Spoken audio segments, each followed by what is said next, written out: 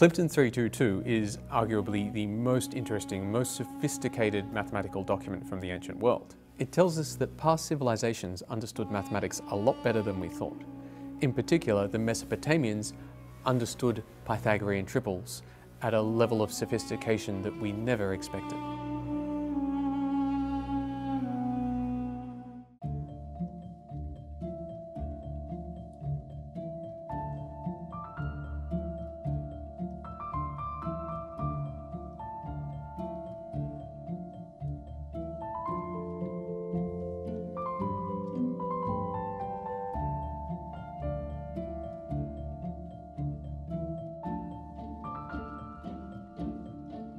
At the time, we didn't realize how important it was.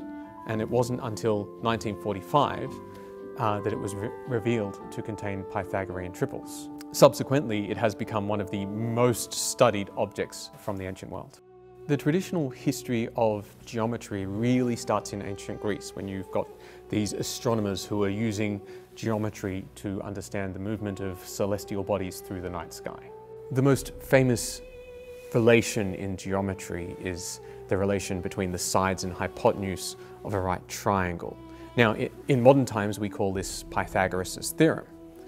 In reality, elements of this understanding are apparent throughout history. You see, about a thousand years before the Greek astronomers were looking at the night sky, you've got Babylonian surveyors who have their own unique understanding of right triangles and rectangles, and they're using it. But they're not looking at the sky, they're looking at the ground.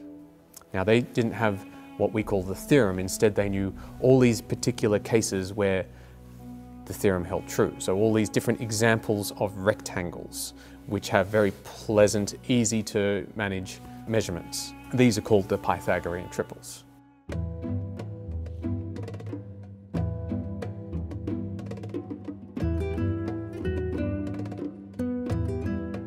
This tablet SI427 shows us that the application is actually surveying. These people are making boundaries, and they're making really accurate boundaries using their understanding of geometry. Pure mathematics is the study of mathematics for its own sake, but it's often motivated in the problems of the day.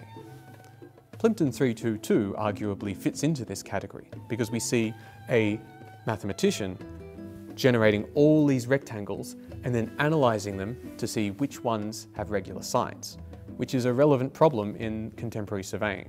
This tablet shows us that Babylonian surveying became a lot more accurate during this time, which is understandable because people are starting to own land privately. And when you've got land owned by private individuals, you've got disputes over who owns which parcel of land or who owns which date palms and boundaries.